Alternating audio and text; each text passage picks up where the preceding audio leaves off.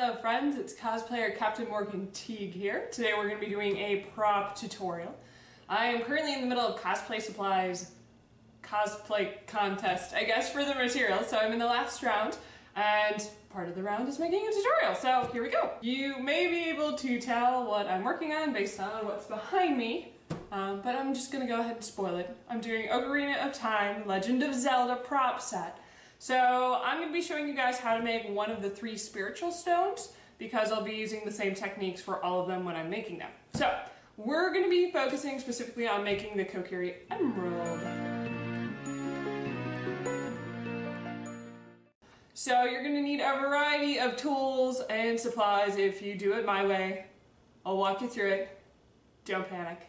Um, but basically for supplies, uh, you're definitely going to want some foam. Craft foam is a must. I get mine from Hobby Lobby because they have them in different widths. You can get 2 millimeter, 3 millimeter, and 5 millimeter thick. Pretty cheap in any color. Not that color matters because you're to be covering it with stuff. But there you go. So, get yourself some of that for sure. I will also be using Worbla, the thermoplastic from Cosplay Supplies. This stuff is pretty boss sauce and you can like use whatever scraps you have left over. Got a pretty big sheet here to work with, thankfully, because I'm making all three of the stones. And, of course, Cosplay Supplies new clear thermoplastic TranspArt. So we're going to be using this to make the gemstone. We're going to be dyeing it and coloring it. We'll be making a setting out of the foam. And then we will be covering it in the Worbla, painting, adding some details, and yeah, should be pretty cool. Oh, I will say, uh, I might be doing a couple extra little things with mine because I am trying to make the set and I'm actually making this set like somewhat attachable to a Triforce. So, here's the Triforce I'm working on. Um, but with the stones I'm working on, I'm actually working with earth magnets so I can set the stones in the front. So there's a couple small steps in the middle. Uh, I'll be putting LEDs in and magnets in that you can skip if you just want the stone itself.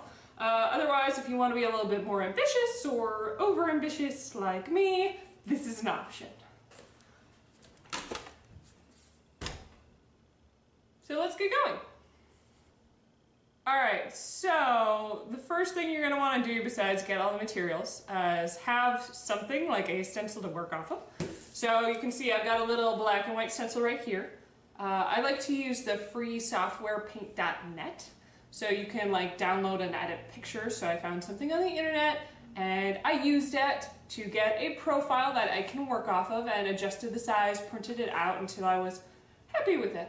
So now I have something to work off of. Um, the first steps we're going to be going through actually are preparing the, the gem itself. So we're going to be working with the TranspArt first and we're going to cut it and dye it first. And hopefully when it's done it might look a little something like this.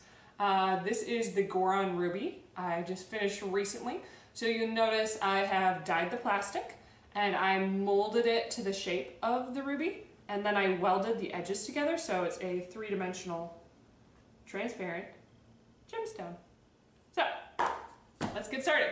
All right, as I said, we're gonna start with the TranspArt first and making the gem. So first things first, we need to cut out a couple pieces so we can dye it.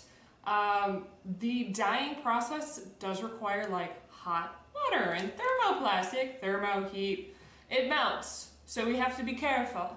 So when we're cutting pieces, you want to cut a little bit larger because then you'll have more room to play. And then if it shrinks or gets stuck together or something goes terribly wrong, hopefully it won't.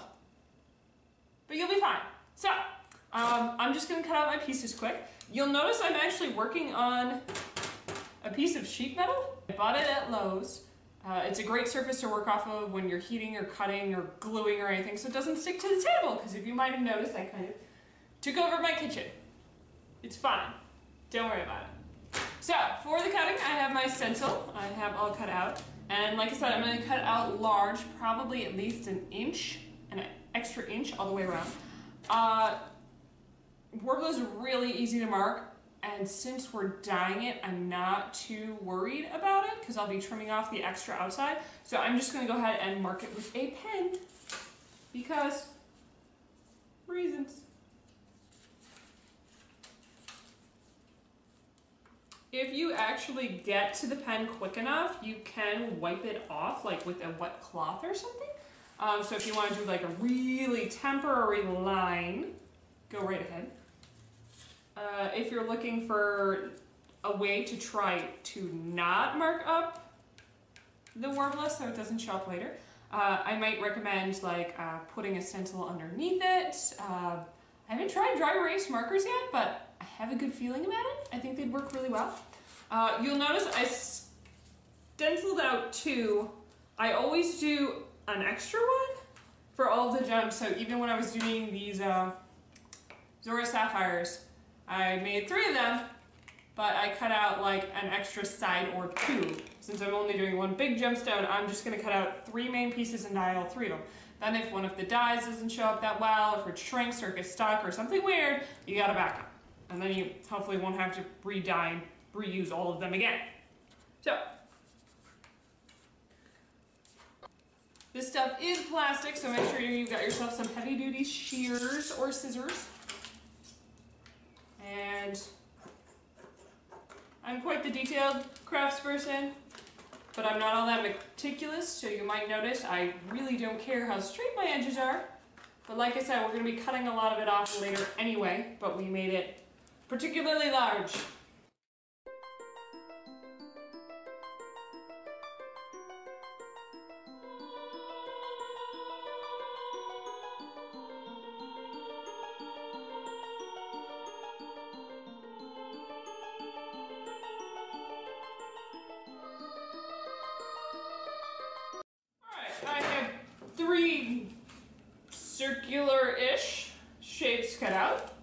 I'm going to now dye. Uh, with your Worbla and your TranspArt, uh, keep everything. All the little scraps, like these ones. Uh, I have like an extra Ziploc baggie where I keep them all. You might not think you use them. You might not think that you'll use them, but it's amazingly helpful to have around. Like you can melt them and turn them into like a patch and patch a hole, or maybe you need to do some little detailing with the warble I need to make a little ball or something. So just hold on to everything. Um, as a matter of fact, I'm going to take this piece with me when we go do the dyeing process because I'm going to test the dye first before I put in my good pieces. Good idea. Yes. Alright, let's go dye. The plastic. Dye the plastic. Alright, it's time to color the Worbla. You're going to need a lot of tools for this out.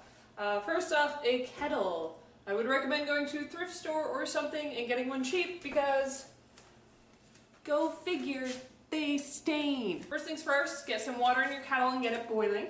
I usually fill it about a third of the way full. We don't want too much water because we really want those potent jewel tones, okay? So we have to essentially make a dye vat. Like I said, water's in here. I've got it on high. It's going to boil. And I've got to get it up to a boil. Um, but I'm going to add my dye pack so it can mix in while it's starting to heat up and boil.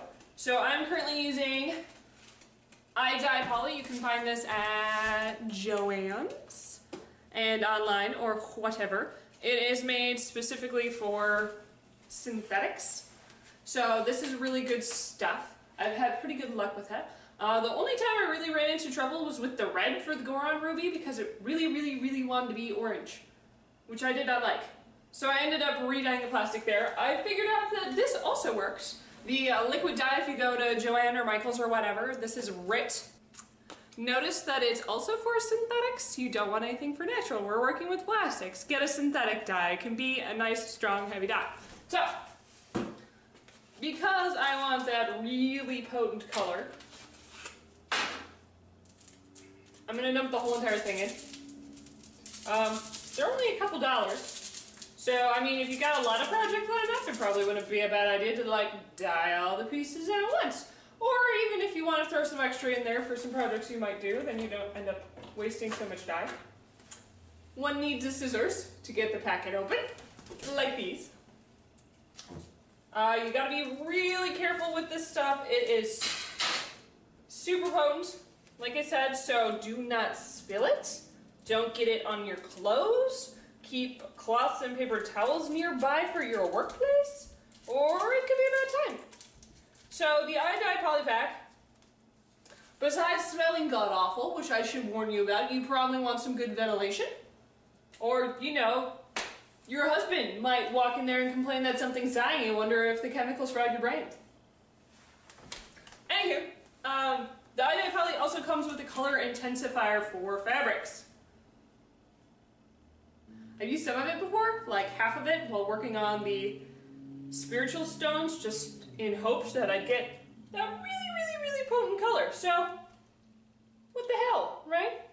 We're gonna put it in there. If you have a thrift store and go and get a pot, you could also get a utensil. I do not have a crappy utensil nearby, so I'm using a plastic spoon.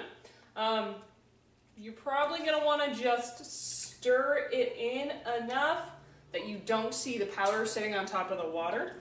That's bad juju's.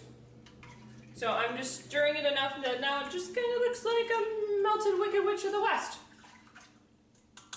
You'll notice off to the side, hopefully you'll notice, hopefully you can see that. Um, I have a flat little aluminum cookie sheet here. I got it real cheap. Uh, I use it for a couple of reasons, but it's handy. Have it right next to the stove. You can put your dripping utensils on it. It's great. Alright, beyond that, you are going to want your plastics nearby that we just cut out. Kind of hard to see because they're transparent. Um, and of course your test piece really nearby.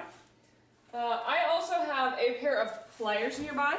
You could get a cheap used pair of tongs or something. This is for getting the plastic in and out of the pot. You don't want to stick your hand in it. Go figure. Uh, also, it will color your hand. That will be really strange. So don't do that. Uh, tongs would probably be better. I feel like I've got a really good grip with these pliers, so I've been using them. You can tell they're starting to change colors. They've been used for multiple vats so far. Alright, that in mind, these pliers particularly can get to me really close to the water, so it does get really warm. I'm also going to be using my Worbla gloves sold by Cosplay Supply. It's Maxi Flex Ultimate. They're thin gloves, but they're heat resistant. Um, you get really good mobility with them. So this usually helps me so I'm not scalding right away. You may notice on the back of the packaging it is, the directions are for fabric. They want you to put it in there and leave it in there for a half hour. I don't. Um, honestly, with the sapphires I had before, they were probably in there for a maximum of 20 seconds. Uh, you notice they don't get much darker. Like once they reach their peak, they don't hit, they don't get much darker. Um, my one exception is for the red, because I was really after that red. I did leave them in for five minutes, and I started watching them for a couple minutes afterwards and didn't seem to do anything. So, it'll be fine. So we're gonna let this boil now, and I'm gonna move you closer so you can see what I'm doing once it gets boiling. All right, as you can see, my eye of newt is boiling very nicely now, so we're going to take our little bit of scrap and do a test run. Gloves on. A little bit of scrap. Firm grip on the plastic, because it will kind of float away with you. And then we're to submerge it. Uh, because it is a thermoplastic, I don't know if you can see this, but it loses all of its stability like immediately. All the stiffness is gone. It's pretty much just turned into like a really soft piece of leather or plastic. Um, the integrity is completely gone. So that's why I like to keep a hold on it because I don't want it, I don't know, bashing around inside the pot. Um, you can let go and hope the bubbles will keep it up. I've done that a couple times. It kind of works, uh, but if you walk away, it might fold over and like attach to itself. Guess how we found that out? So, I'm gonna hold it in here for, I don't know, give or take 30 seconds and kind of see how we're doing. It's looking pretty fabulous to me. This is the second reason why I have the aluminum pan next to it. It's lost all of its integrity, so if you pull it out and put it anywhere, it's to be wrinkled and gross, and probably not what you need for stretching in the next step of the process. So, if you lay it down right away on this nice, cool aluminum pan, it starts drying immediately, and will dry relatively flat, which is pretty boss sauce. So, you'll notice, I don't know if you can see this, you can see a little bit, it's a pretty fabulous green tone. Pretty nice jewel emerald that we've got here going. So we're to go ahead and do all of the pieces. One by one, very slowly. I probably won't talk the whole time. I'll probably speed this up for you.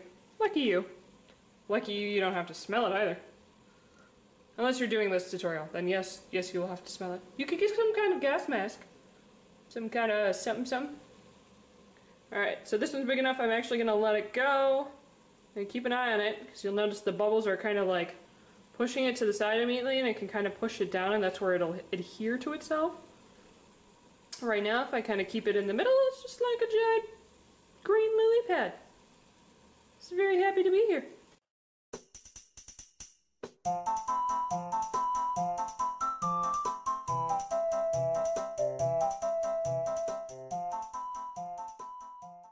Moving it quickly and laying it down before it dries all curled, which is going to do a little bit anyway. If it's got a little bit of curl to it, don't worry about it because once we start heating it and stretching it over the jewel mold, well, it'll even itself out.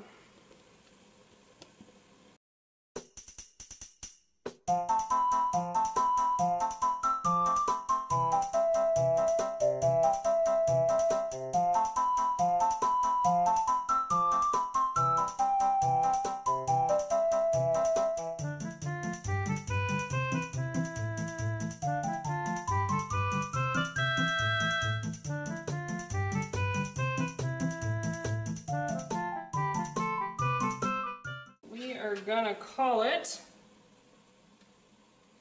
You're gonna call it fabulous. Alright.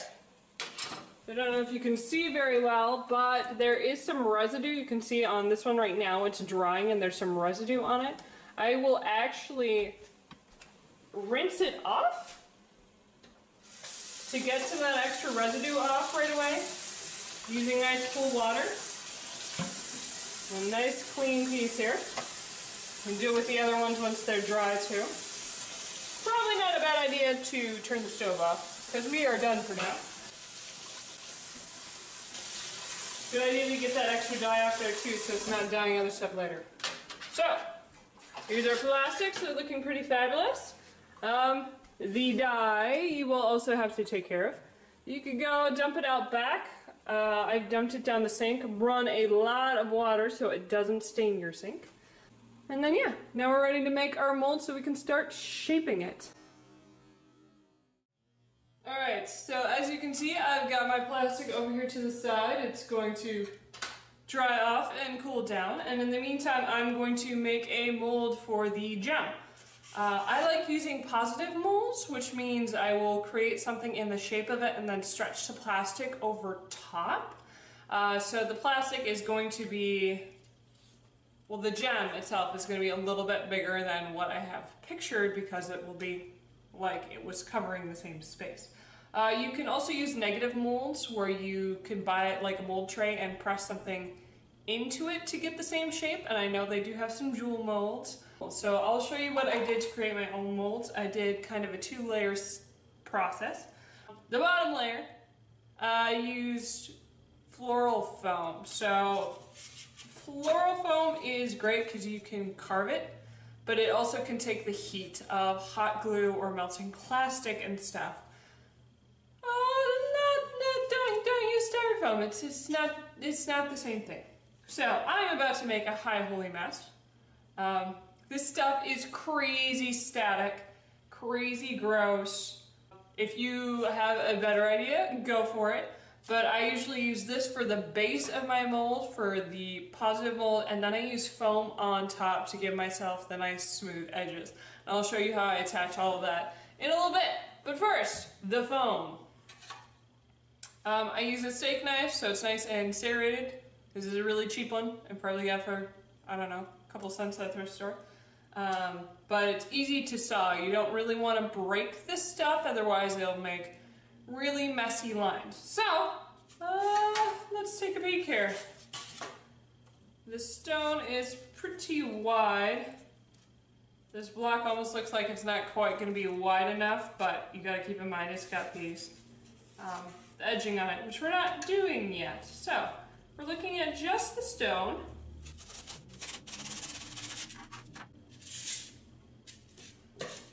I'm actually going to cut the stone out now. If you've used the software to print this out and get the silhouette, you should have an extra one. You'll notice that this, the Kokiri Emerald, is an octagon. So I'm gonna make sure to give it eight very straight, distinct sides, even though it's really dark on this side of the gem and I can't see it. There we go. Octagon. Kind of. If you're particularly paranoid, which I may or may not be, um, you can go use your fancy art software to make sure to print out something that is perfect in its octagonalness. I'm just going to use symmetry kind of an origami trick and cut some edges this way. Now we're talking. Nice little octagon. Alright, so I've got the width. The next thing we're going to worry about is the height. Um, obviously, I don't want a gem that is anywhere near this thick. But something else to keep in mind, we're making two of these and welding together on the edges. So you really only want it about as deep as one side. So you notice it is really, really not that deep at all. So probably an inch deep total, about a half inch on both sides. So this is where it's going to start to get really messy. Um, I usually cut a little higher and you're going to need to because you'll be shading the sides. Don't go straight down to that half an inch that you want the side to be. Uh, give yourself, give yourself a good inch or so. Remember, saw, don't break. Or push, actually. Pressure is really good too. Completely uneven. Figures. It's okay. Not bitter. Alright, so this is where it's going to start getting really messy. Um, I'm going to use my pen again, which is a terrible idea because the ink doesn't show up.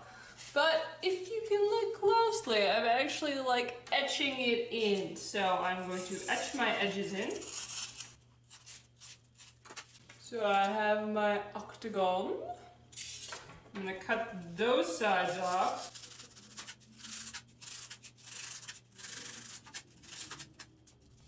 Alright, looking pretty good.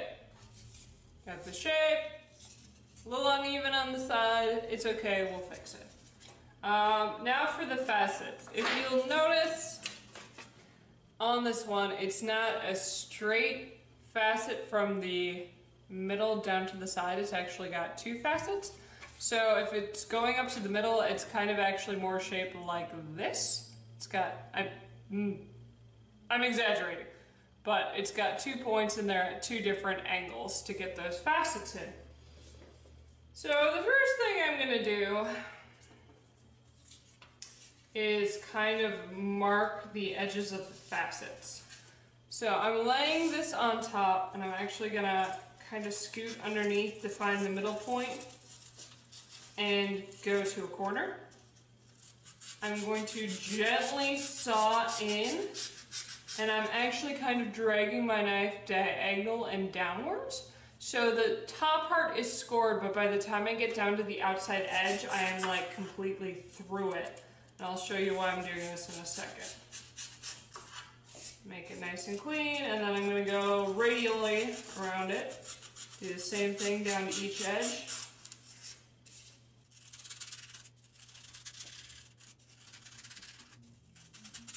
You notice I'm kind of pulling back more than not and down as I go. All right. Now pieces of pie, like I said, didn't go all the way through. just the tops. So this is where it gets hellaciously messy. Um, I will say that this might look kind of easy, and it's really, really not. Like I said, we're just trying to get a general symmetrical shape to work with. I usually will make at least two of these to see if I like one better than not. We're gonna work from the middle outwards. And this is not gonna be easy to show you, but I'm gonna try my best here. Um, you gotta start one facet first before you can kind of carve into the rest of them. All right, so I am going to uh, carve into it at an angle until I hit that severed edge. Right there, and this nice clean cut, that's where I scored it. Alright, so I'm going to even out on the other side.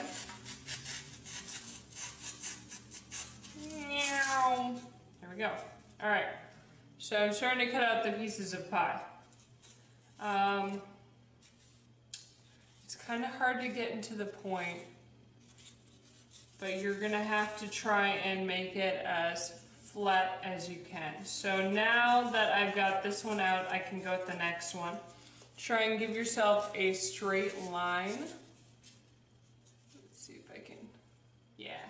So you're gonna want the point up at the center and you're gonna want the whole thing at an angle and the bottom of the blade can end a little bit above the edge, but I'm, I'm looking at an angle here. So I'm gonna carve into this one as straight as humanly possible to produce one of my facets. All right, so this one's super crooked because that's the one I started on. Pretty typical. Um, I'm gonna get back around to that in a second. I'm gonna go ahead and go all the way around the pie.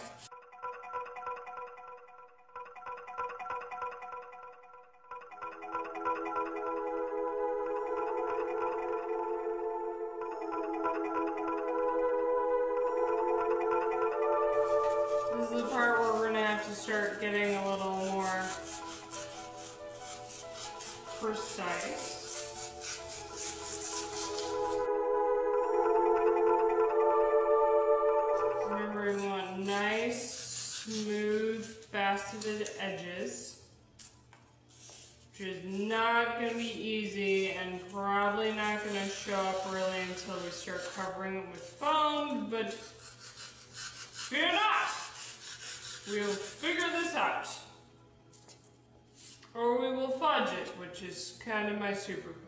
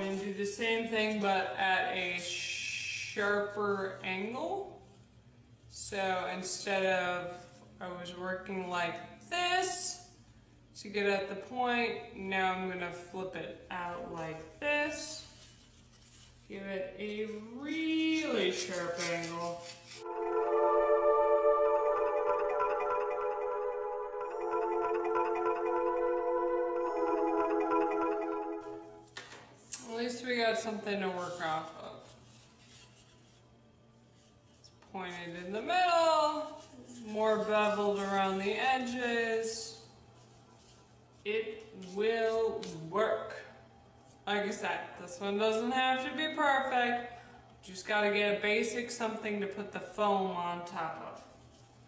Crazy messy though. So, I'm gonna go ahead and do one more because I usually pick the lesser of two foamy things. So.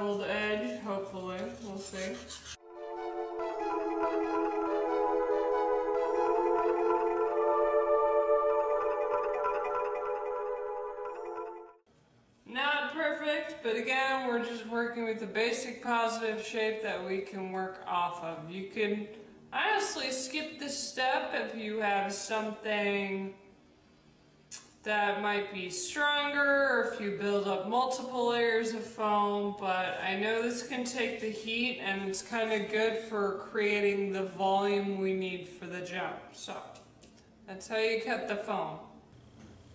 Alright, so we're all finished with the foam, but a quick note before we move on. One, like I said, foam everywhere. Easiest way to clean it up, a wet paper towel. Um, be sure to rinse off your utensils so it doesn't get everywhere. It's kind of like sawdust. Two, uh, you'll notice I'm still working on my piece of sheet metal so I can cut and stuff and not scrape.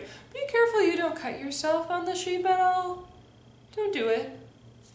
Alright, so next thing I'm going to do, I have the foam for the volume, and now for the flat, nice, even sides, I'm going to use my craft foam.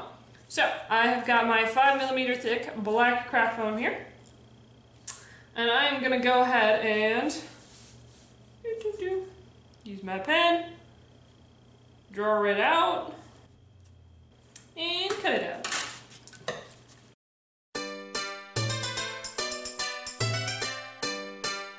I could give you the same spiel about keeping small bits of foam.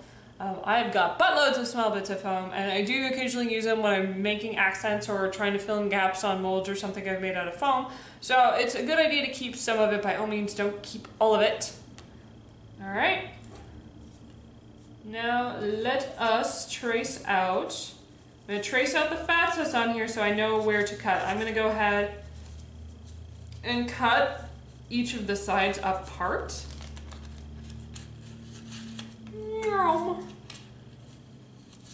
This looks pretty easy. It's just a straight line. I'm kind of not as precise as I could be about things. But it works for me. If your style is that you need to find the middle of the thing, which I clearly did not find, then by all means, please do. Alright. I'm going to go ahead and cut all of the facets into actual pieces, keeping them relatively close together so I know how they fit, because this is not an exact science. There, It's going to be easier if they fit next to the one you cut them apart from. As opposed to, you know, trying to stick them together with a different piece.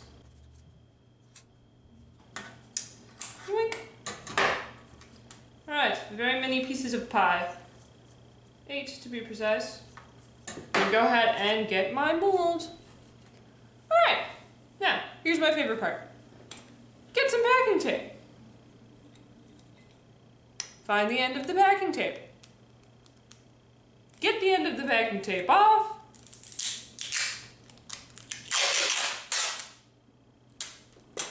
And tape that sucker down.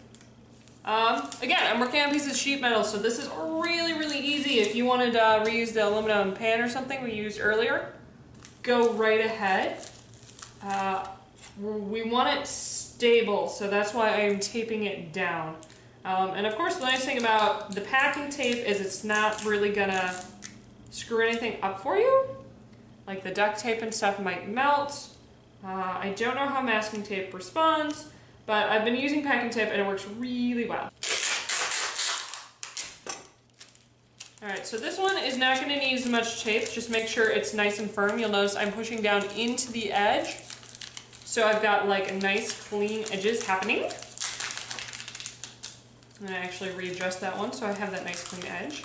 And this one I've got a corner right there, so I'm just going to cut it. You need to make sure it's nice and clean for when we're shaping. Alright, so this is to hold this down.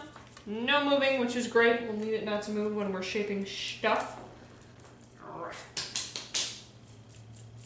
Alright. Still got that foam everywhere. Uh, it'll be fine. It'll go away in a couple days. It's cool.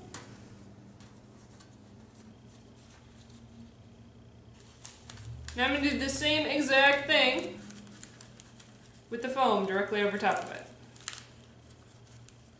Um, you'll notice the angles are not going to match up as nicely here, and that's totally cool.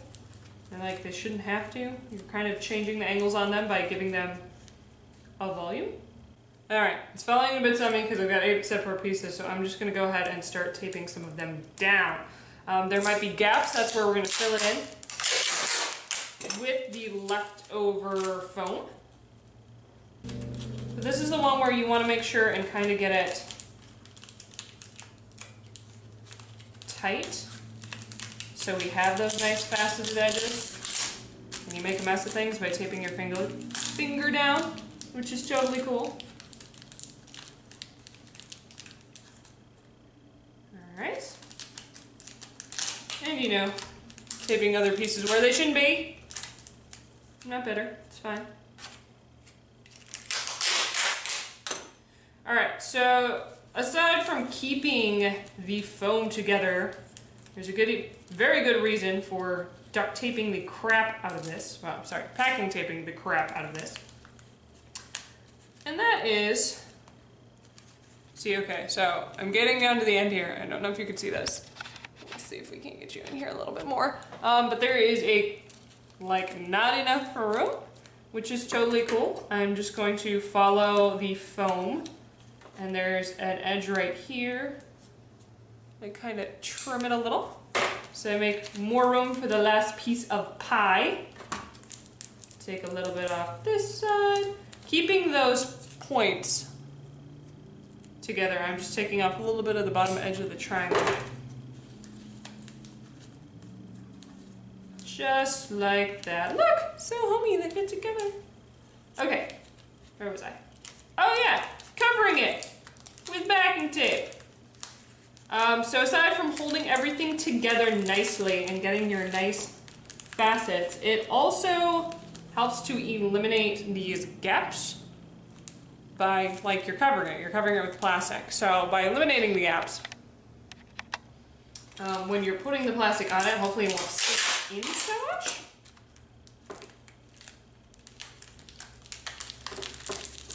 There go. All right, so like I said, it gets bigger. I pretty much could just cut the sides and they went down straight to the top, but we still don't have the down angles for the second portion of the facet.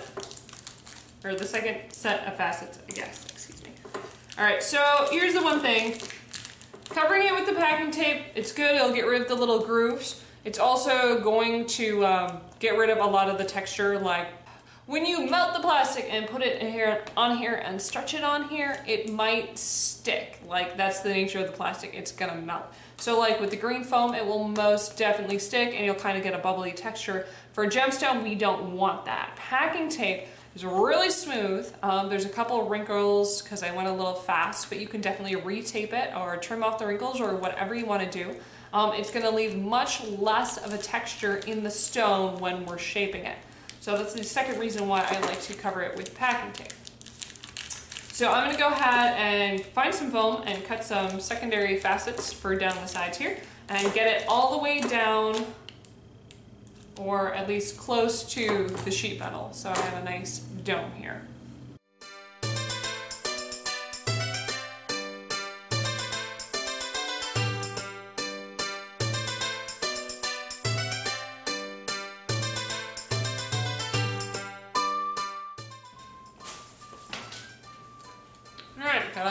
Edges here. I might have to trim some of them as I go because it is not perfect. Um, but where's the fun in that? Yeah. Alright, so I'm going to prop some of these little edges up here. This tape is getting in my way, so I'm going to trim it and press it under. So I have made room for the new edges.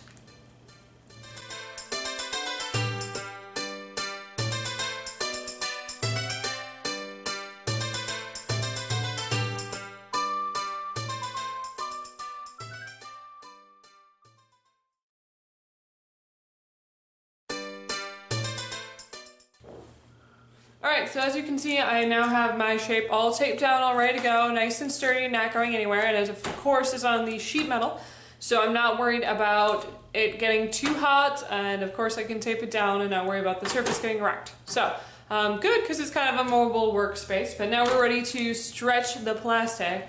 Uh, make sure you have got your heat gloves with you. Uh, I usually like to put on one glove because there are certain points where you just need your fingers. Um, but if you're like handling it as a whole and the warm plastic, these are great because they're not going to get too hot on you. You're going to need some way to heat, melt, and shape the plastic. What I have is a embossing gun. It's from Stampin' Up. Uh, they used it for raised ink, melting the ink to make embossing. Uh, this thing is great, pretty mobile, pretty small, and it gets really, really hot. Uh, I don't know if you can still find them now, but you might be able to find something similar in a craft store near you. Um, but like I said, it gets way hotter, way faster than like a hairdryer. So that's why I think it's a fabulous option. You're also probably gonna want water nearby. Uh, this is just lukewarm water and I have a sponge nearby. If you go into Cosplay Supplies, they've got some tutorials and one of them is a wet sponge tutorial. When you're shaping it, if you're not gonna wanna sit there and hold it for 10 minutes while it cools, it's a good idea to have that nearby because you can force cool it by using a sponge and warm water and kind of smooth the plastic with the sponge, which is great. Also nice to have water on hand in case you know something gets a little too hot and you need the water. So we're gonna go ahead and do this thing. This thing's pretty loud, so I'll make sure to talk before and after. Uh, I'm gonna let gravity do a lot of my work for me. So, got my plastic, I'm gonna place it on top about as center as I can. And you'll notice I kind of start at the middle and then spiral my way outwards when I'm heating it. And it'll just kind of start drooping down the sides, which is perfect.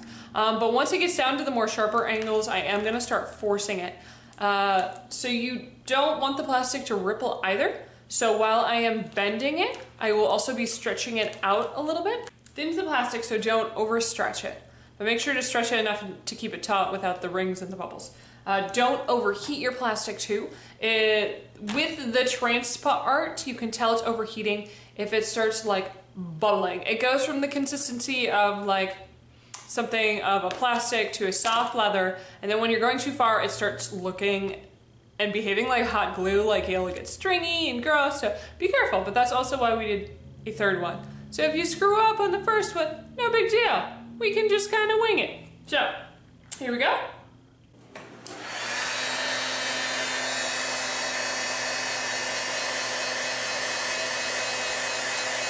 Another trick to not letting it get overheated. Don't stay in the same spot. Keep it moving.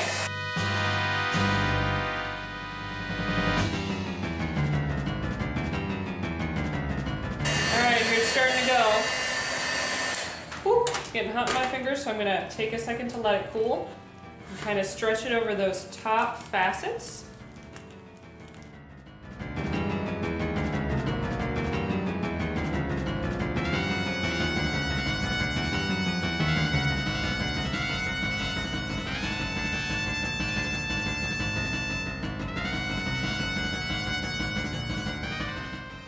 You notice I'm trying to get it all the way down to the sheet metal and flat on the sheet metal on the bottom. And I'll show you why in a couple minutes. And if you do have extra ripples of plastic, I recommend kind of pinching them on where your seams are. It'll hide a whole lot easier than on the flat facets.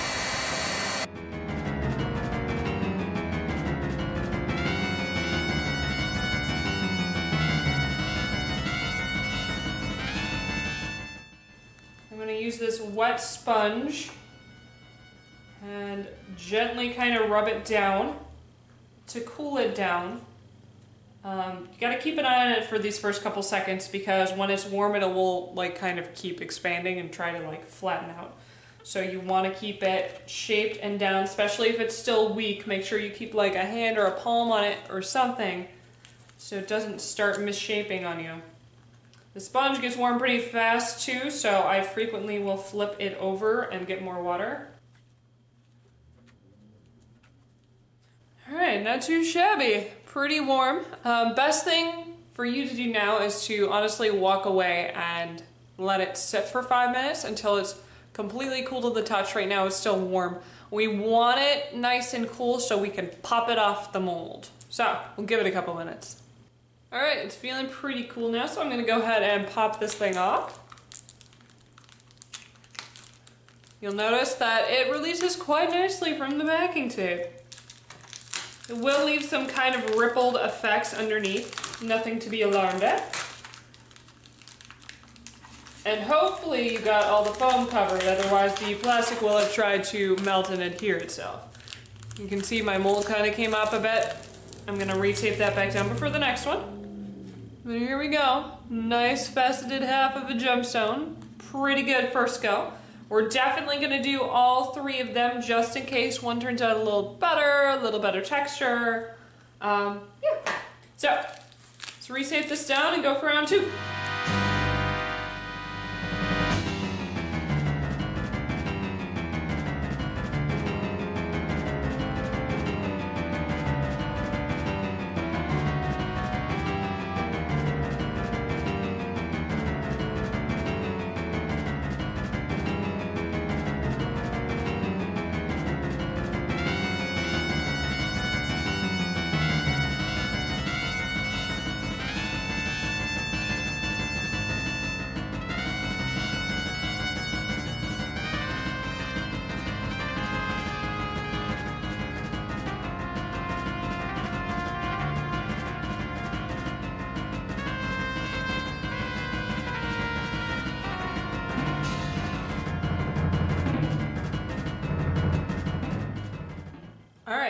Got our pieces and they are all molded and nice and cool and ready to work with. So we're to go ahead and weld them together to make ourselves a giant emerald.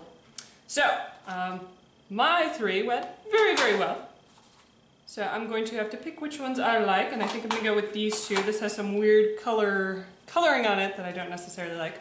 So I'll keep it nearby in case something goes terribly wrong.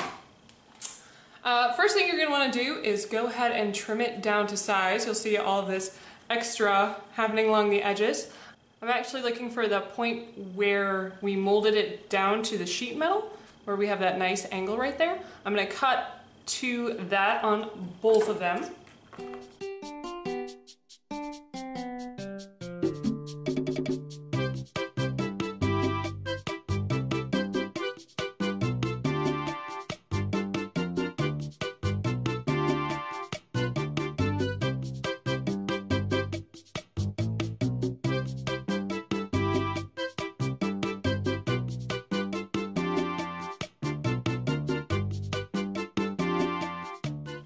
Two facets now, we're ready to go. Um, you can go ahead and take the opportunity to trim off any of that undesirable kind of folding on the side. You'll notice I've got some big gaps here, but I am more than willing to work with it uh, because we're going to start heating it so we can smooth those down as we go. I'm going to be using a wood burner. I found the wood burner works really well because it gets a nice high temperature, which is great for the welding and the melting of the plastic. Uh, you'll notice I've got a pretty wide tip on it, a wide flat tip. Uh, I used a pointed tip before and it's almost too much heat on the plastic and just starts straight up burning it so it turns black and we don't want this. So the little bit more surface area on the tip helps a lot. So we're gonna take our time here and start with just one edge at a time to melt them. Um, find a set of edges that line up nicely and we'll go from there. I'm gonna go with these two, look pretty good. All right, you want them as flush as you can manage. They don't have to be perfect. Um, right now we're actually more looking at the angles. to Make sure the angles line up. And then we're just gonna go ahead and melt this thing together. Um, I'll be putting it straight flat on first to get it melted and then I kind of go in an angle to flatten my seams down. Once you get a couple steady edges, you won't have to worry about holding it still. I'm going to warn you, this smells really terrible. You're burning plastic, so make sure you have a well-ventilated area again. If you need to wear a mask or something, by all means, go ahead. Got one edge there. It's already melted together. And I'm going to go in from an angle and kind of smooth things down a little bit. Um, you'll still get a little bit of burning color if you stay still too long. So definitely don't stay too still too long. When you run across something like this one, if you can see it, it's kind of a, a bigger ripple. I'm just going to go ahead and use the heat of this thing to kind of force it into place for me. Really slowly.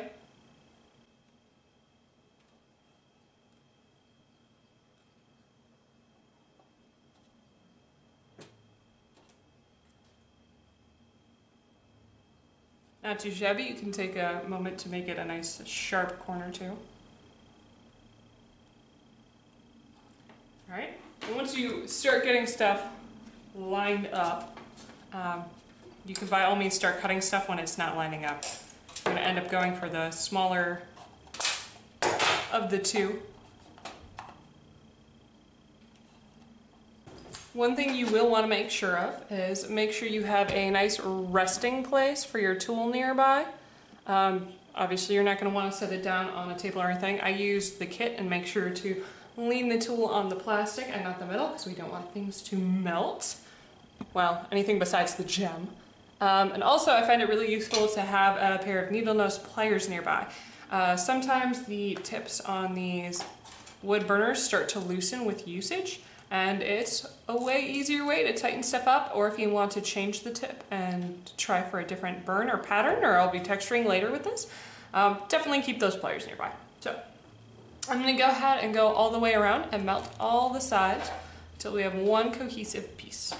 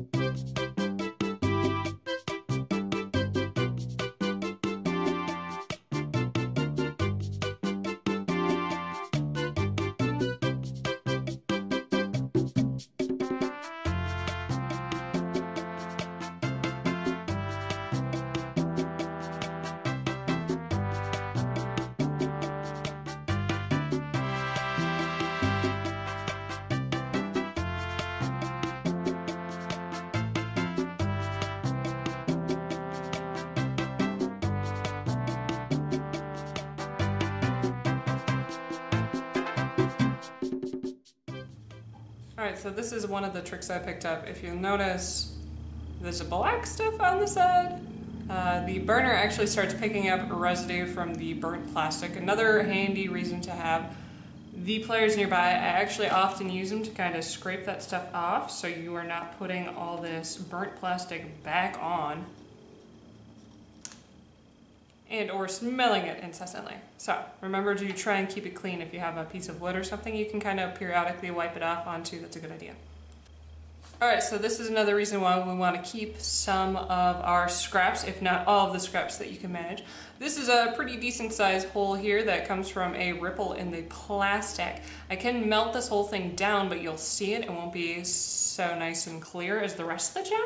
So we are going to use a little bit of scrap and patch it. So I'm gonna go ahead and cut a little piece.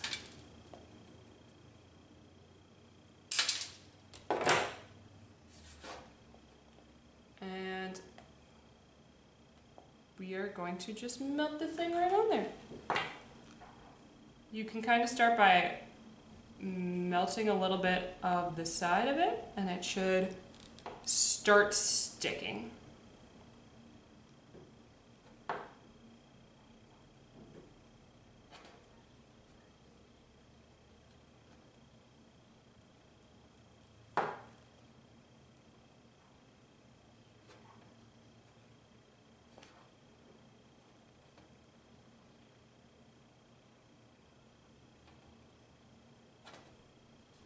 Little patch. You can see it's a little messy, but that's okay because we're going to be viewing it from the front.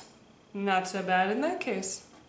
Alright, so once you get through with the preliminary just, you know, welding it all together to have our basic shape, you can definitely start getting a little nitpicky, um, like moi. Uh, it's clearly not a perfect octagon, but, you know, handmade with love. It's fun. So the other convenient thing about using the welder to kind of melt things is if you end up with an edge that's maybe a hair too big or maybe not straight enough, you can just go ahead and straighten it out by melting it into submission, which is an actual crafting tactic. I'm going to go ahead and use it to straighten out some edges and angles.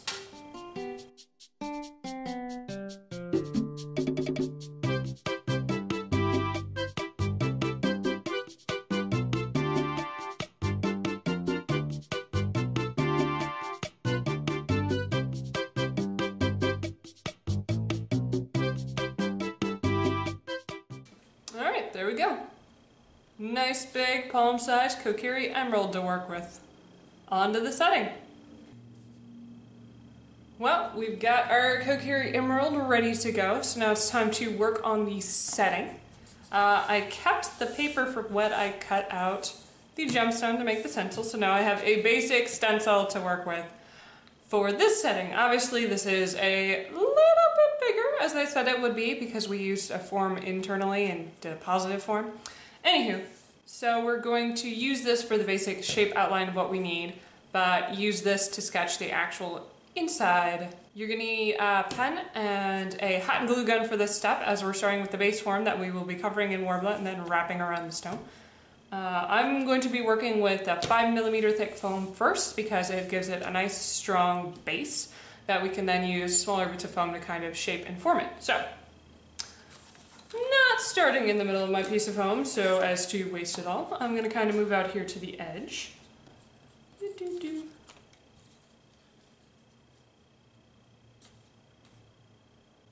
And figure out where my pen went. And I'm actually going to start by just getting the shape of the stone here. So I know what it's got to fit. And then we'll kind of work around the edges. Let's see, one, two, three, four, five, six-ish. So we know it goes almost all the way around the gemstone. And take the time to kind of smooth out and taper the edges here.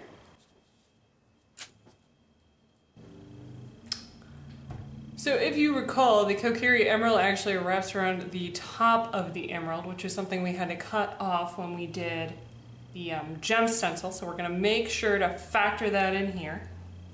Um, if you'll notice, it comes up the same side as the branch and goes over top. So I'm just gonna kind of freehand it. If you wanted to, you could reprint out your stencil, make it a little bigger, and make it a little bit more precise. I'm gonna make mine nice and round as opposed to the sharper corners of the classic game.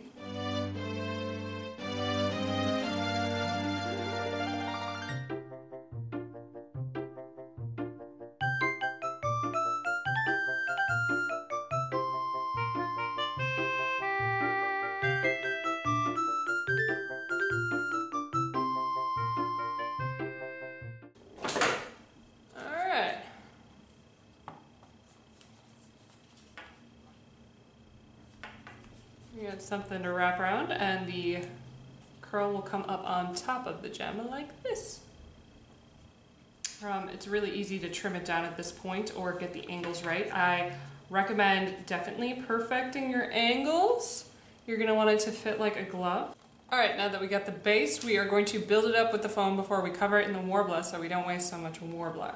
Uh, make sure you have a good surface to work on. I'm pulling out my aluminum pan again, just in case the hot glue gets away from me. And this one I am going to build up by kind of like making a frame out of foam.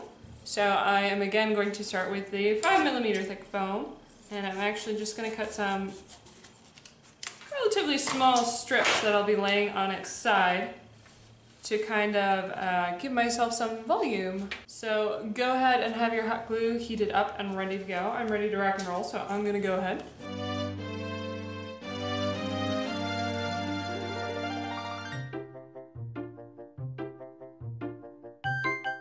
You may have noticed I have it tapered down in the front where I'm gonna want it lower. And it gets taller where I want it to have the most volume, but it's kind of a little bit over the top down here. So I'm gonna go ahead and trim that down at an angle a little bit.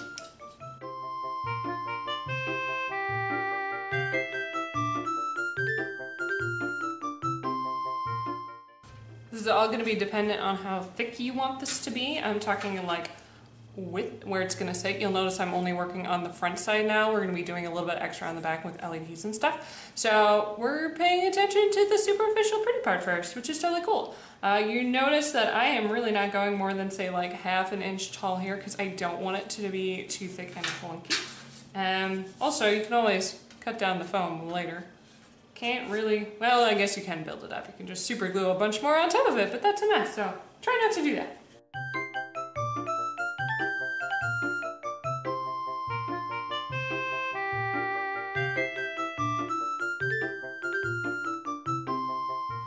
Now to get that kind of roundness and high volume we want, we've got this ridge in the middle that's kind of kind of work like our backbone. And I'm gonna go ahead and get my thinnest foam here, the two millimeter. Uh, and I'm gonna cut out wider panels that I'm actually just gonna like glue and dome over the entire thing. So because it's crazy curved, I might have to do this in a couple pieces, so we'll just see how it goes. We'll start on the straight end.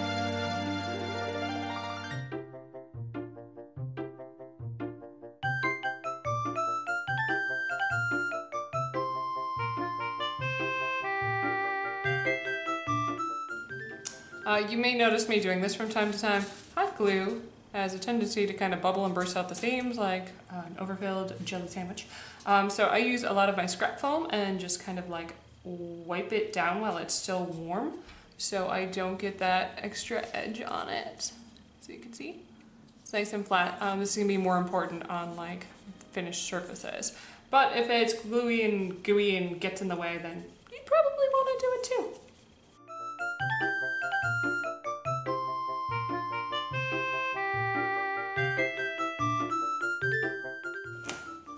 All right, so on the inside, we're gonna be a little bit more careful because we don't want it going too far inwards, otherwise it's going to push into that area we left for the emerald. So instead of putting the glue on the top edge, I'm actually gonna put it on the inside edge.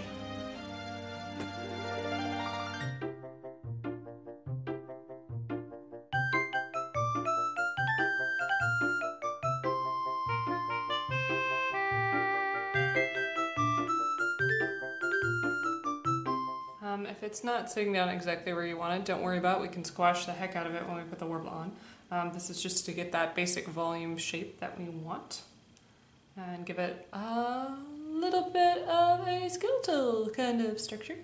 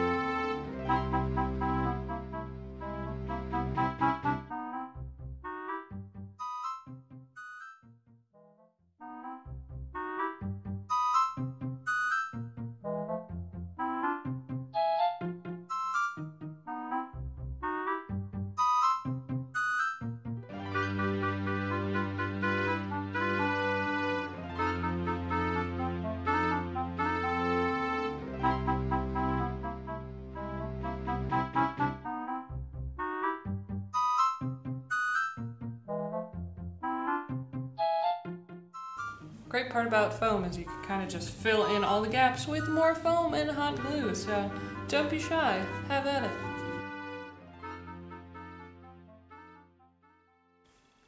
Alright, so now we've got the top part done. As you can see, we've got it kind of nicely domed here, so we'll have some volume when we put the wrap around the gem for the setting. Uh, before we start on the back, I wanted to point out a couple things. Uh, first off, the way I'm setting my stone, the stone is actually kind of being like pinched in like you would see a gem set in like a setting. This is just the way I'm deciding to set it. If you don't want to set it this way, if you want to like pinch it between a setting, um, then you can deviate on this next part, like make the foam so it's in kind of a V so you can hold the gem in it like that. But like I said, I'm doing more like uh, actual gem setting. So like here, I just finished my set of sapphires. Um, and it is set like in the edges as opposed to being like sandwiched in there. So that's just the method I'm gonna go for. Also, when I'm moving on to the back, I'm to start using the LEDs and magnets. So I want to show this to you before we get a little close and you can't see them anymore. I'm going to be using these. They are single battery operated LEDs. You can get them in packs. I actually found them at Hobby Lobby in the wedding aisle of all places. Um, but nice little pack set of them and it's just a twist and it's just a twist to turn them on. They're pretty bright. Uh, so I actually use these in my Triwizard cup. I used a set of them. Um, the convenient thing about them being twist is like it's all enclosed, so it could really easily hide in a costume or something. Um, but with these ones, I can cover just about everything as long as you leave either that bottom exposed so you can twist it or the seam where the twisting happens exposed and you can actually twist it, you can get away with a lot. So I put them, embedded them, and I hid them like in the back of my gem here so you can see it. Um, so you can kind of get at them, but since it'll be on the back, but once you get it on the back, you can light them up. Uh, so let's try this thing. Get some more hot glue and foam. You'll need it. All right, so we are going to be doing similar steps as before with the building the piece up with the hot glue and the foam. Um, something to keep in mind again is how I'm framing my stone. So this is going around the front and we don't have one around the back. So what I'm probably gonna do is build up that spine um, around this side and probably taper it off right up here where it's going to cross over to the front of the stone. And then we'll just smooth things out with Worbla. Uh, if you don't intend to light it up, then go ahead and skip this next spot.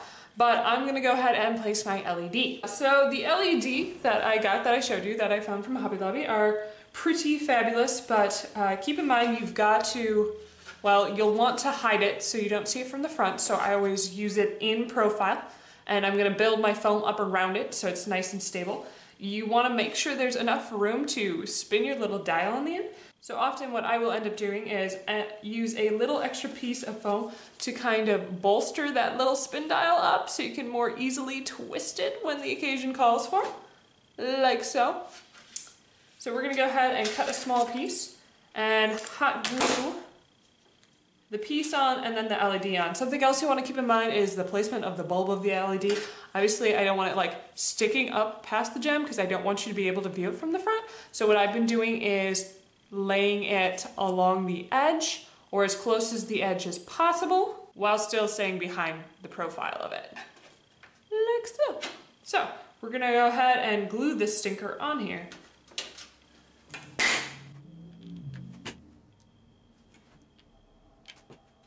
And remember, you don't want to get glue in the seam where it rotates or you won't be able to twist the knob later. I usually give it a couple spins while I'm doing this, make sure I'm in the right spot. Looking good, let's let it dry.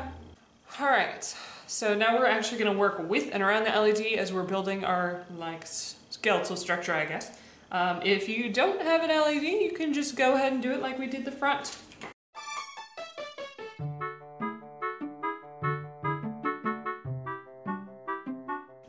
you'll notice I'm making this structure about the same height. So when I go over it with the thin foam, I should be able to go straight over top of the light as well. Remember on this side, we don't want to put the spine all of the way up because we will be twisting it around to the front. So I'm going to do a taper about halfway up. We'll glue this sucker on too.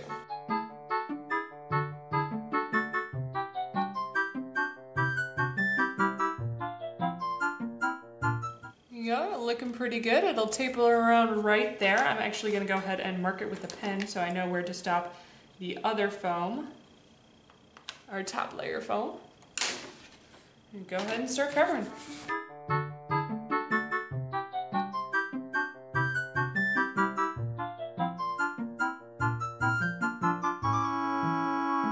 Make sure to leave room for your little dial. I'm gonna go ahead and cut it off right there and then put a second attachment down here on the lower branch once I'm done up here.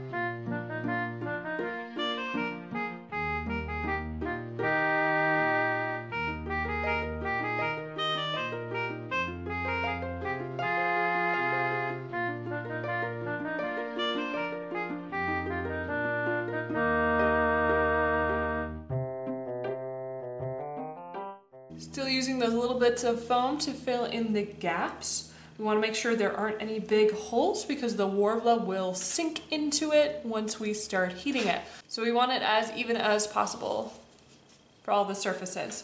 Um, for some spots, like uh, around the dial here, uh, it's really not going to get much better even-wise, but it's okay, don't worry about it. We'll fix it when we get to the Worbla.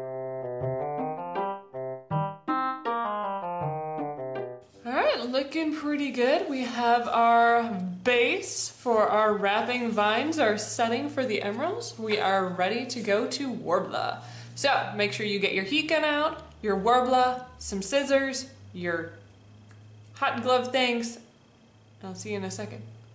All right, so we're ready to start covering with the Worbla. I've already got a strip cut out. I don't know if you've worked with Worbla before, but if you haven't, there's a shiny side and a not shiny side. The shiny side is actually made for adhesive, like it'll stick to itself, which is great.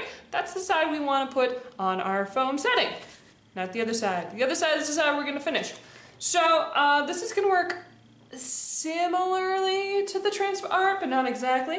Uh, it takes a lot more to overheat this stuff, and if you overheat it, it just kind of starts, I don't know, like putty, I guess. Um, it's not gonna bubble on you or anything. A good tip for the Worbla is once it starts changing white on top, you can see this little texture, once it starts going whitish, you're probably close to overheating, so it's a good point to move on. Um, similarly to TranspArt, don't stay in any spot, one spot too long. Uh, you'll notice I'm gonna start with the back um, because I want to do one final piece on the front to get a more finished nice coat. So I'm gonna start on the back and we're just gonna have to play with it as with Worbla. So I'm gonna start on one end and kind of work my way down towards the light here. And then once I get to the light, we'll get a little closer and I'll show you how to do it. I do have some extra tools on hand. Uh, they're metal, I believe they are sculpting tools. Uh, you do want something metal so the Worbla doesn't stick. If you get wood, wood's too porous, it will try and stick to it. So these are great when you're trying to get in the little tiny corners or if you're trying to manipulate it or if your fingers are just too big like sausages. The thing with the Worbla is you can have bigger pieces, but they might be a little bit harder to manipulate, so you might be better off starting in smaller chunks. I've used it a bit, so I actually know I can stretch it. I'm gonna start at the top and then kind of stretch it and bend it as it's heated and go around. You might end up with some excess, especially on this inside curd here. Don't worry about it, you can cut it off as you go. It actually kind of seals the seam nicely, so I have scissors nearby as well.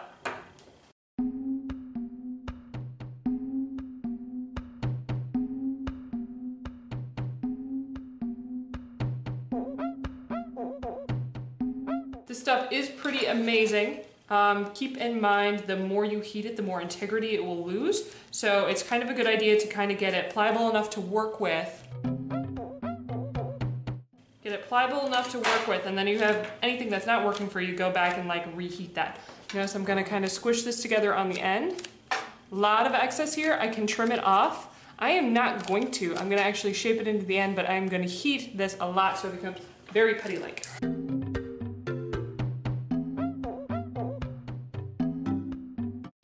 Want to squish it together fast to get rid of those extra seams. Think of like putty or putty, think putty or Play-Doh. You can always go back and reheat it if you need to while we're doing this.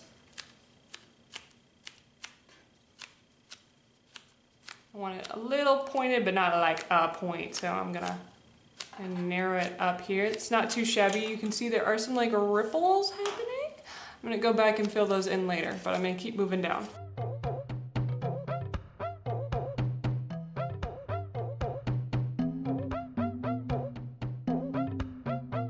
Ending up with too much on the inside here, I'm just gonna go ahead and trim it off. Wrap it around as far as I can. And then I'll put a nice top coat on once we get back around to the front. For now, we're just gonna cover this back up so it's all good.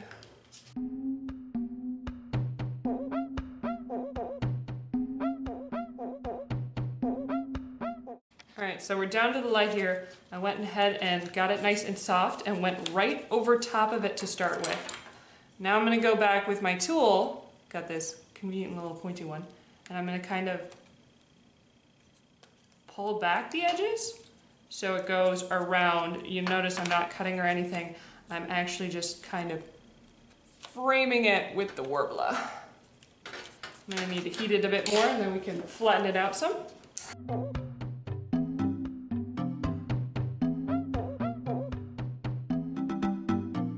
Alright, wanna make sure it's got a nice clear view from the top into that bulb so the light can get out. Now let's worry about the back side. Uh, you'll notice it's sticking to itself. Worbla does that, so be really careful. This is why it's really hard to work with big pieces unless you know what you're up for, because they will start getting out of hand and sticking to themselves and just being a mess.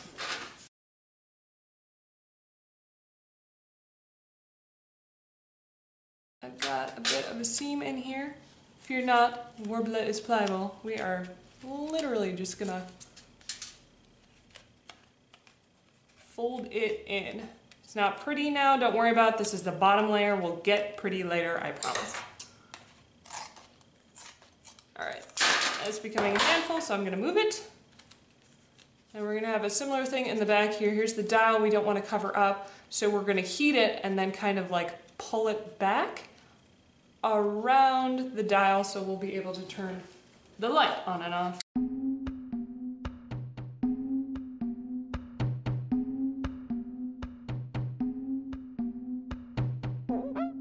Sure it's not just open that you can see it, but there's enough that you can grab onto, or else you're gonna be stuck and need to use pliers to turn it on and off. Not that that's happened to me. There we go. Beautiful. Now this is a part two. If it's nice and soft, you can kind of force it in here over the foam. Give it kind of a, a more finished edge. Again, don't get it up to that dial or you won't be able to turn it. So I'm just going over the foam that's on top of it. Looks like it's all it's gonna let me do for now because it's starting to cool down. I'll need to heat it up a bit to smooth it out. But I'm gonna go ahead and take care of this last little corner. Maybe smooth some of these down. Now the nice thing about the Worbla is if you get something like this in the first process, you can most definitely go back and reheat it so it's really white, and you can actually kind of smear it in. Uh, you'll want to use a tool for that. I just really quickly use my fingers, but try and like force it and like smudge it in like you were trying to mix paint with your finger. I'll show you.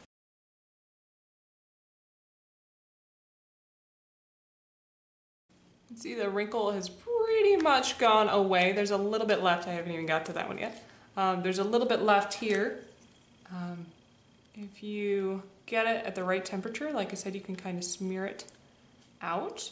Otherwise, I've got a couple other methods I will show you when I'm done. But overall, that looks pretty awesome. Let's keep moving.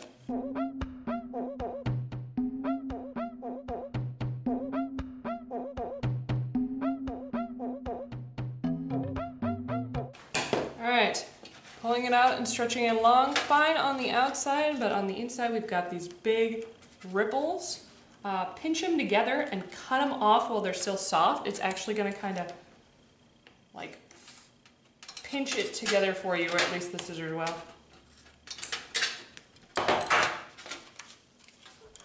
Just like that.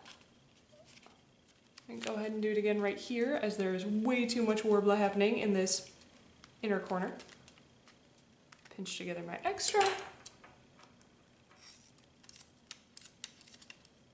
Cut it off. And then save the scraps for later, of course.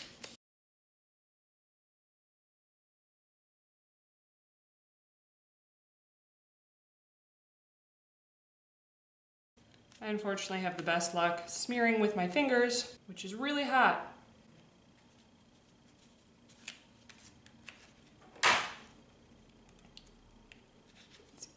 make a little window for our light friend here.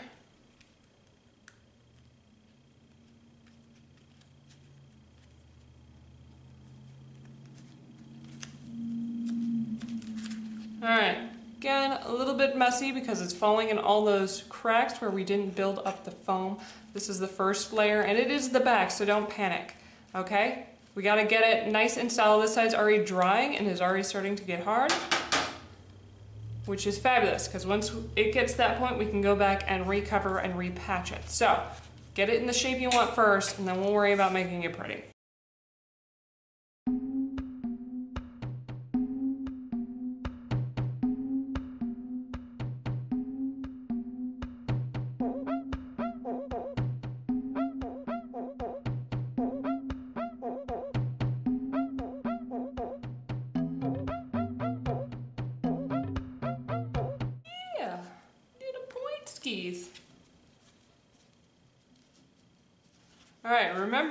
Gonna go on the emerald, so it's not gonna be laying flat. The side should be raised. I'm already twisting it a little bit, so I should be able to fit the gem in nicely. If you haven't yet, don't worry about it. You can always go back, like warm up the joint, slowly bend it out of place, and hold it there until it dries like that.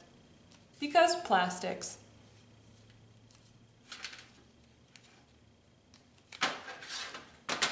All right, so we got a basic on the back just for some structure. We're gonna go ahead and put a nice covering around on the front and then go back and patch some of the holes. So, I'm gonna do smaller pieces this time. And for seams, the easiest thing to do really is just to abut them next to each other. That'll blend the seams nicely.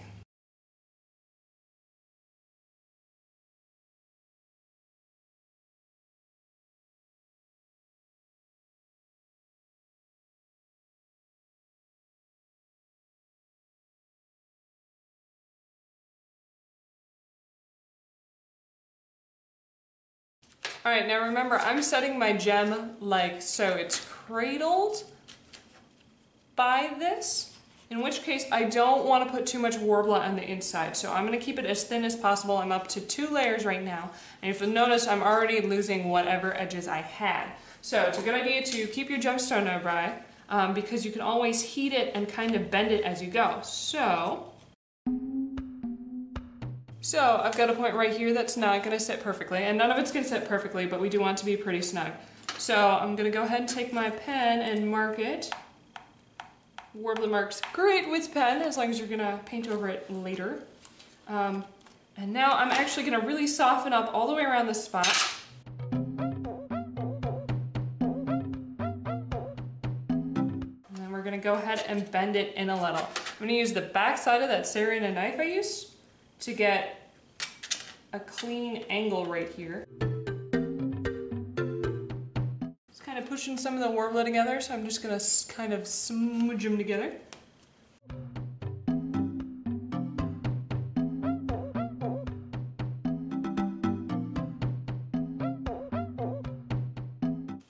Need to do all of your forming while the Worbla is still unfinished because once you get the paint on there, it'll ruin whatever paint you do if you have to reheat it and do it. So, gently. This is also an opportune time if you're getting an angle that fits nicely and you see another spot that you might need to build up a little with Worbla, go ahead. I'm gonna kind of hold it here until I get the shape I want and let it cool so it hardens. All right, so now that we got this inside the right shape we need for the gem, I'm not gonna put any more Worbla in there. I'm just gonna worry about the outsides and smoothing it down and finishing the encasement.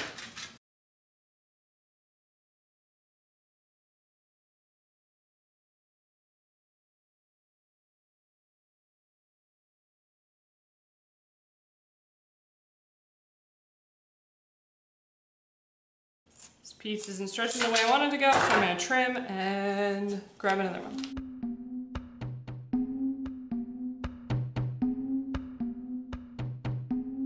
Moving down the seam where it meets the back.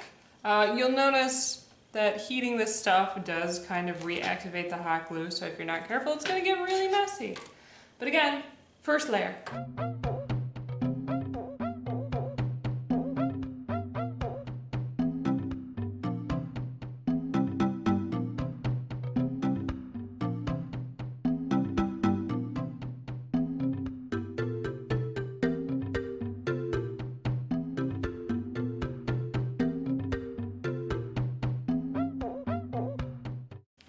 Actually gonna lift it up and hold it for a second so I make sure it dries at the right angle for me.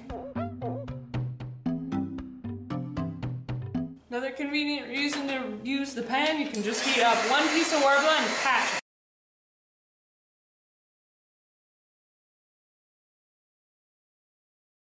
I'm just gonna go ahead and point out that this would be way, way easier if this was something that was symmetrical or that the foam was perfectly prepared for the Worbla. Uh, the base of the Triwizard Cup I did for the last round of the Cosplay Supplies contest had a base that was simply kind of like a step in which case I could just heat the Worbla and use my small tools to stretch and press it in and it worked beautifully. This one, because it is such an organic odd shape, we are going to have to fudge it a lot. But that's okay. Worbla is pretty dang forgiving. That's why I love it. We're working on encasing it right now. I'm not going to worry about all the seams quite yet.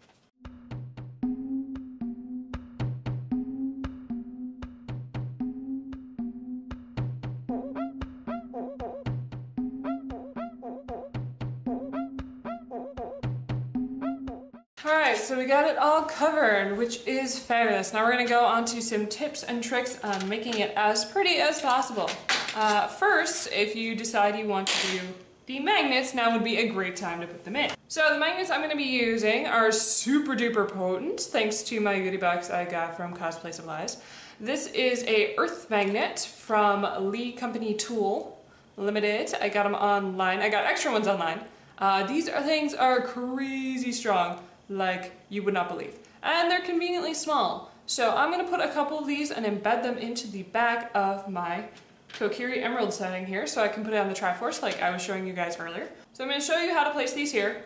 And then once I get them placed, I will also place them in the Triforce by hot gluing them on the inside. So the Kokiri sub setting will sit nicely on the inside. Don't let these things stick together. They're like crazy difficult to get apart. The only way I can figure out to get them apart is by like twisting them. Even then, they're like freaking ridiculous. Uh, okay. Just stick that one here, and this one over here. Don't get your watches or cell phones or anything near it. All right, based on the size of this thing and where I want it, I know I want my two magnets down here near the bottom. So I'm gonna go ahead and heat up some Worbla and put it in around the magnets. Alright, so I went ahead and figured out where the magnets need to be. I used a little spot of hot glue to keep them there, but obviously we don't want these magnets sticking out of the back because they don't look fabulous. So we're going to kind of work them into the back pattern back here by covering them with Worbla. Now I'm not going to cover them with a lot of Worbla, so I'm only going to do one layer of Worbla over the top and then kind of build up around it.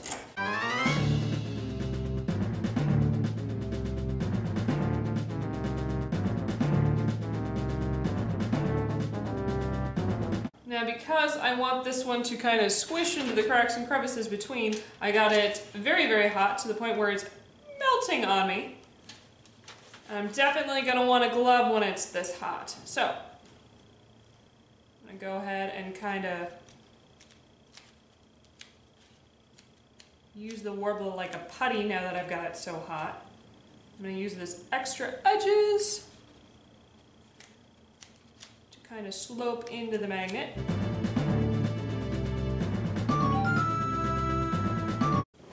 Not too bad, we built up the top here. Now we're definitely gonna put some in on the side so it doesn't look so nasty. Being very careful up here along the top because we don't want to infringe on that space for the gem. So I think I'm just gonna really heat this area down and kind of smear it in with my glove.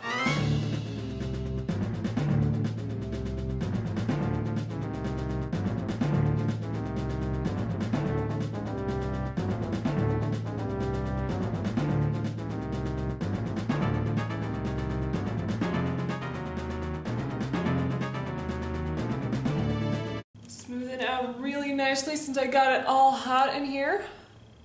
Looking pretty flush. You can still see there's like some dips and uh, wrinkles in here, but we will take care of that with uh, the next step. We just want the majority of it level. This is where all those little scraps come in handy.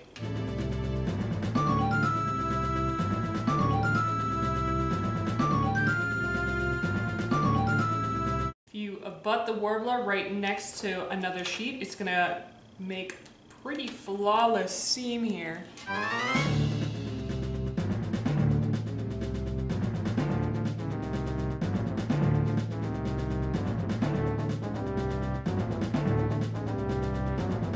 Alright, built that one in pretty nicely. Worry about the little tiny cracks later.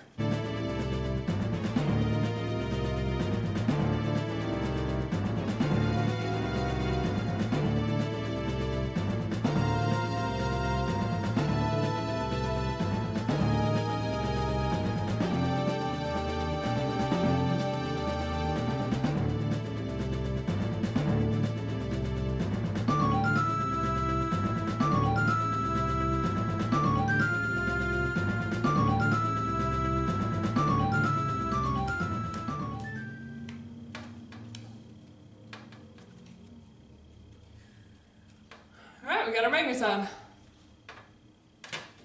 Alright, now that we got our magneton, apparently not an aluminum pan.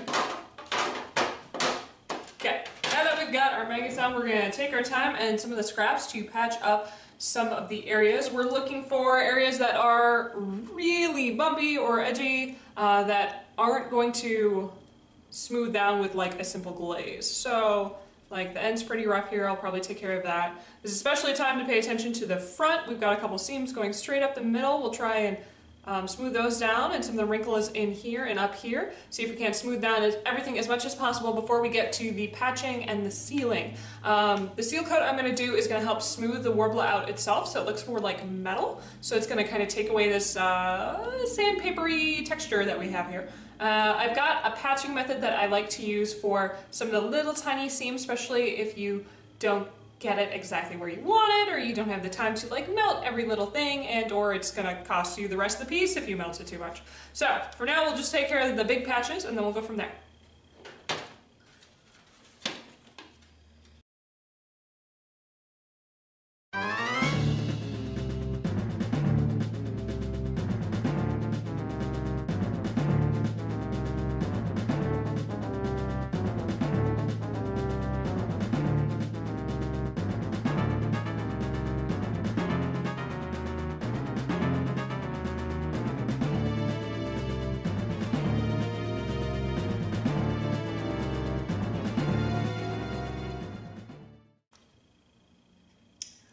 Going to worry about perfection here because I'm going to texture it too.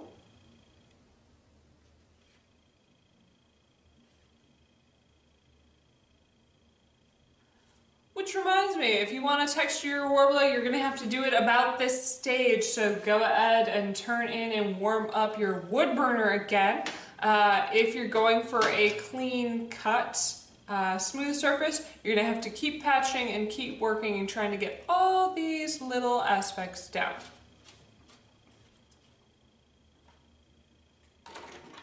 Alright, so as I said, we're to start some of our finishing touches on the Worbla setting before we start seal coating stuff. You have got a couple options. There are multiple ways to treat this Worbla. Uh, if you want it as smooth as humanly possible, you might still have to do some more heating and stretching and pressing and molding than what I've done, but since I'm texturing, I'm not too worried about it. So if you want to go smooth, there's a couple routes for you. Uh, you can use the wood burner for sure and kind of like melt in the seams. Just be aware, this isn't going to react the same way that the TranspArt did when you were melting it, okay? It can take the heat better. It smells like burning wood, which is kind of strange, but it's gonna get a little bit more tacky than melting like the TranspArt did. Uh, something else I like to use is actually modeling paste. Uh, it, it, reminds me a lot of like a spackling or a putty and I'm a painter so I had this on hand and I wanted to try it one day. So you can see I've been working on my Triforce and I just got the pieces of the Worbla on. Um, but there were some seams I wasn't quite happy with, some little tiny holes that didn't quite match up. So what I did is I actually forced the putty in and then used the back of a uh, that steak knife I used earlier to kind of like level everything out. So this is filling in all the little tiny gaps and then when I am done or when this is done drying I'm gonna go ahead and sand it down to get even smoother surface before I do my seal coats. But yeah, so I am gonna go ahead and heat and texture the surface. Now this is something I decided I wanted to do is give each of the settings a slightly different textured surface because I thought it'd be a nice level of detail. So with the Goron Ruby here, I did go smooth. I put some coats in, put my time in, got everything as nice and smooth as possible. With the Zora Sapphires, you can see I kind of melted in ripples? I want to say it's like ripples. I tried to use, I used a flatter surface head and kind of just like pressed my way into it to give it that nice texture. So with this one, I'm actually gonna go a little deeper and cut into it almost like a wood grain or a bark to give it a more earthy texture. All right, I've got my heating utensil almost totally heated up, but I wanna show you what I mean by they melt slightly differently. So um, we had the experience, here's the TranspArt, the clear stuff. And when you melt it, it just straight up melts. So you can see with the TranspArt, it just straight up melts down when I use the heating tool. Um, bubbles a little bit, a little bit like hot glue. With Worbla, we can take the heat a little better, so it behaves a little differently. It actually kind of just squishes like putty, which isn't a bad thing. Just know what you're working with when you get there. All right, so I'm gonna go ahead and use my wood burner here to give it some texture. I'm also gonna use it to burn down some of these extra edges that I didn't quite get to with the large heat gun. Again, you're gonna want a well-ventilated area. It gets pretty smoky. At least this one doesn't smell as bad. So you can see it's kind of smoothing down the edge nicely. Um, so that's a great option. You can smooth it and sand it if you want a really smooth surface. But I'm not going for smooth. I'm gonna start texturing. So I'm not gonna worry too much about the edges here until I encounter them and then I'm just gonna force them to do what I want by burning them. So I'm gonna use a, I've got a different tip on this time. It's a 45 degree angle. It's their kind of typical beveled tip here.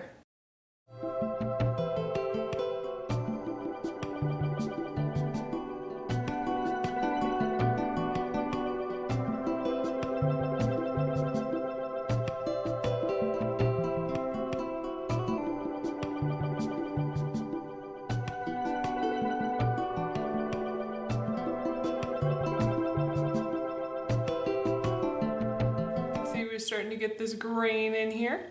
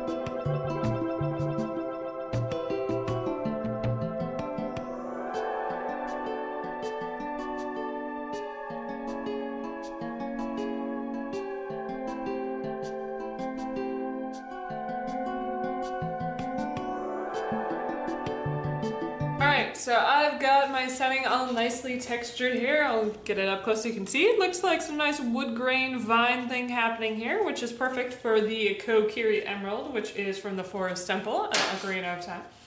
So once you get your Worbla setting where you want it, uh, the smoothness, the right shape, and you're ready to start with the finishing touches, you're gonna wanna seal it first. Now you can go to Pinterest and there's a bunch of different recommendations for trying to seal coat and smooth out Worbla and a couple different methods. Uh, I just got a sample of this stuff, Flexbond for Worbla from Cosplay Supplies, and it is pretty awesome sauce. It's really viscous, so it only takes a couple uh, coats to get like that smoothness of Worbla, but it's essentially like if Mod Podge met glue, right? Uh, it, it's really heavy duty, dries transparent, uh, you can use it like a glue, pretty fabulous. But I'm gonna go ahead and put a coat on this thing and let it dry, and then do a second coat as a primer so it's all nice and ready to go before I do my painting.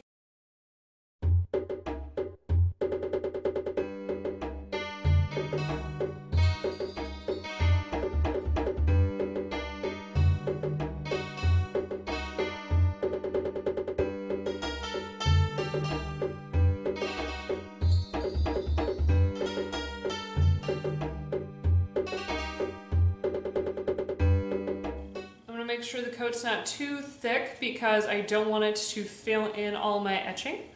Uh, and also, when you're done with the stuff, definitely make sure you clean the brush really well or it's just gonna glue the bristles together, which is gross.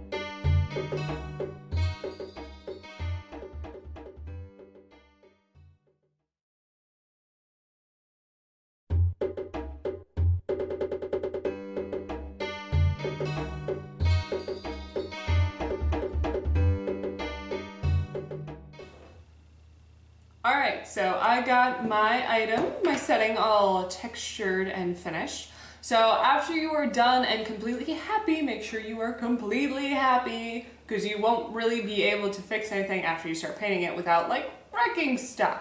So make sure you're happy with it and then you can paint. Uh, I already painted because I wasn't gonna bring the camera outside with me. So I used spray paint. over here you can see what I used. I used a gold coat here. Um, and also on my Triforce, looking pretty fabulous.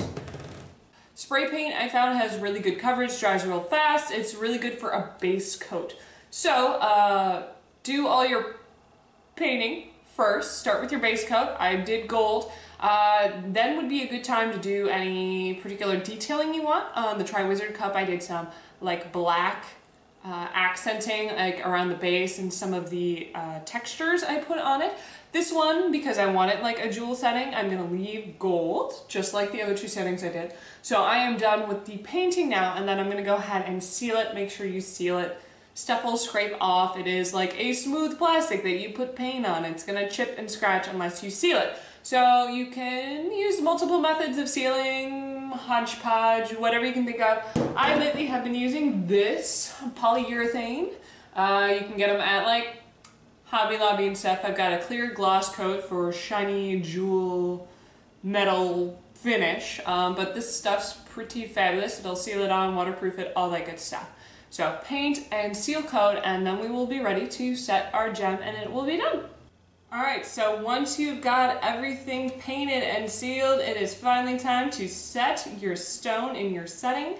Uh, you can see I've pinched mine in here nicely. I've found out where my angles go and set it in. Uh, you've got a couple options for setting it. I'm just going to use hot glue. You could probably get away with super glue.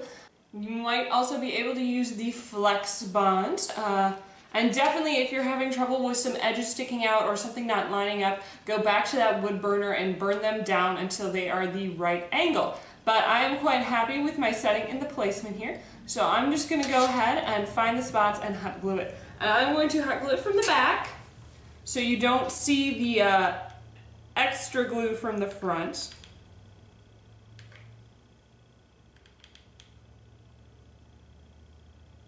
I'm going to make a point to take a little bit of spare foam here and wipe it down so I do not have extra globbing goo. Hot glue to be precise.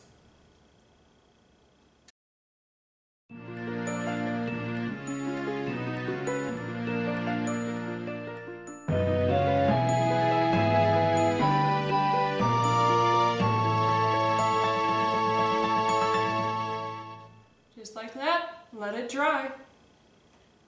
And there you are. You have made yourself a Kokiri Emerald from Legend of Zelda. Congratulations! So those of you who stuck with me this long, thank you so much for watching. I hope you picked up some tools and tricks that can help you along in your own crafties. Other than that, this is cosplayer Captain Morgan Teague signing off, and I'll see you next time.